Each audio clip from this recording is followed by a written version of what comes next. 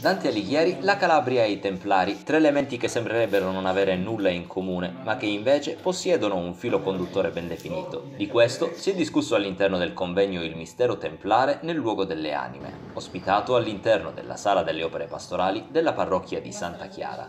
Come nel, nel corso dell'Ottocento si sono create tante di quelle leggende da fare diventare templare quasi autore di tutto quello che era successo in passato, e questo titolo riflette un po' queste concezioni che ormai dal punto di vista storico dovrebbero essere superate. Dico dovrebbero perché in effetti vedo che continua ancora eh, questo modo di pensare ai templari come se fossero gli autori di tante cose, cose misteriose. Nella, nella vita dei templari di misterioso c'è poco o niente dal punto di vista storico. Dopo l'introduzione di Michele Cusato, il convegno ha visto la relazione della dottoressa Ginetta Rotondo, che ha cercato di ricostruire, partendo da alcuni passi della Divina Commedia, il legame che sembra esistere tra Dante Alighieri e i Templari.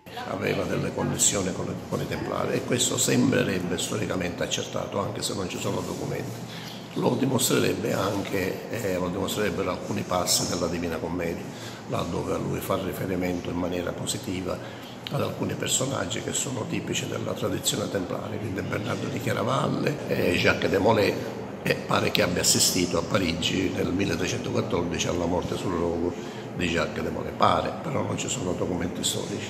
La parola è poi passata al direttore dell'Accademia Templare che durante il suo intervento ha analizzato e spiegato chi fossero i Templari e quale fosse la loro storia, L'accento è stato messo in particolar modo sullo studio delle fonti, che devono essere lo strumento principale per lo studio di questo ordine. Io sostengo sempre che l'ordine templare che fu soppresso ufficialmente nel 1312, eh, ma di fatto cessò di esistere nel 1314 con la morte sul rogo di Jacques de Molay, che è stato l'ultimo maestro generale eh, di Goffredo de Charnay. Da quel momento l'ordine esce dalla storia ed entra nella leggenda. Si è detto di tutto e di più, soprattutto, ripeto, a partire dalla seconda metà del Settecento e per tutto l'Ottocento.